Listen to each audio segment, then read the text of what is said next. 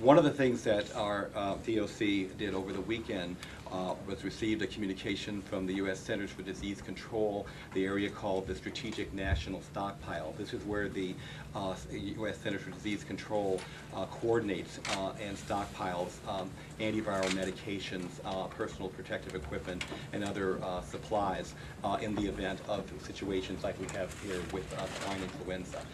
They made a decision over the weekend at CDC to uh, distribute 25 percent of the supplies that they were holding uh, for our area uh, and to distribute that to us. So we will be receiving as early as tomorrow uh, supply, a- antiviral medications and other supplies to augment uh, those resources that we have now. And let me just give you uh, just some, some rough figures on that.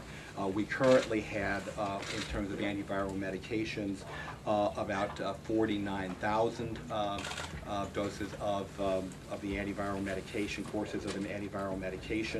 Uh, The uh, allocation that we will be getting from the U.S. Centers for Disease Control uh, this week will add uh, about 625,000 uh, courses of treatment uh, to that uh, to that total, which will give us a total of about two, uh, 675,000 uh, courses of treatment.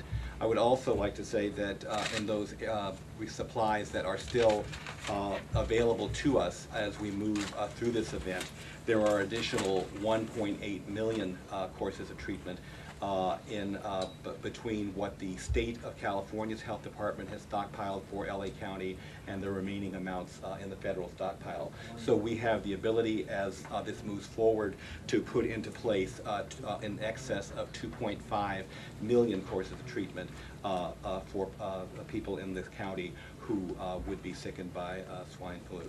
Uh, As Dr. Miscola said, there are uh, no cases currently. Uh, Those medications would be used exclusively for individuals who are already sick per CDC protocols.